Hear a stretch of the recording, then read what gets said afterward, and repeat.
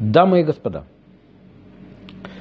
мы видим, как меняется мир, мы видим, как меняется контент, мы видим, как меняется YouTube, Google, и мы прекрасно понимаем с вами, что все меняется. Когда-то были старые фильмы, просматривать их нету смысла. Я думаю, что меня смотрят люди, некоторые моего, э, так сказать, поколения. Я скажу вам честно – надо идти вперед. Это тяжело. Очень сложно перейти от какого-то уклада к новому. И что происходит? А происходит следующее.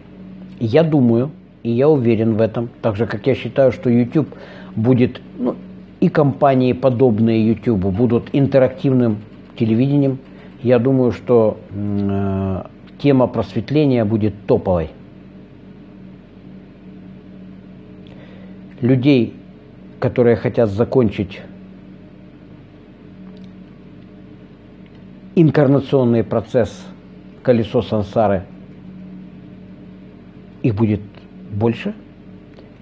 И, э, безусловно, тема просветления будет хайповой. Да, пускай она будет. Да я не против. Оно мимо меня летит, оно меня никак не интересует. Абсолютно никакому человеку, который занимается осознанностью, э, его божественности ничего не повлияет. Абсолютно. Другой вопрос. Будьте бдительны. Люди просто тупо хотят денег, хотят секса, хотят влияния на теме просветления. Здесь, в этой комнате, где я снимаю видео, да, у меня сидел обезьянкин – который очень активно дрюкал своих грязных учениц. Нормально. Секс-гуру. Сейчас скандал в России. Алекс Лесли. Ну, абсолютно какой-то какой-то косноязычный, какой-то вот неинтересный. Понимаете, да? Я почему-то даже вспомнил анекдот, вот то, только что буквально вспомнил анекдот. Он какой-то такой неинтересный. Когда молодого геолога прислали на Алтай, он через несколько месяцев увидел, что геологи э, в связи с отсутствием женщин э, спят с козами. Ну, не спят, а дрюкают их. И он э, возмутился так.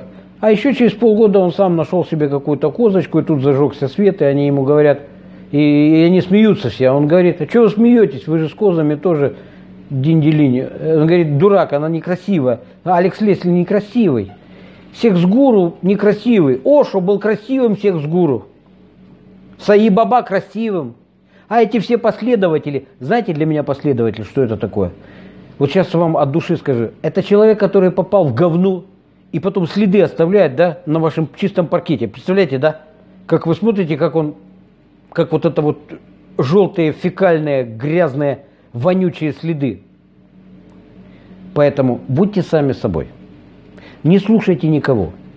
Не слушайте этих курящих, говнящих молодых людей, которые начинают вот это вот в педерастическом экстазе рассказывать о том, что они что-то на них снизошло. На них могло только снизойти блевотина такого же дебила, блядь, сверху, понимаете, да? Больше ничего. Будьте светом самим себе. Занимайтесь сами собой. И прибудет с вами разум. На сегодня все.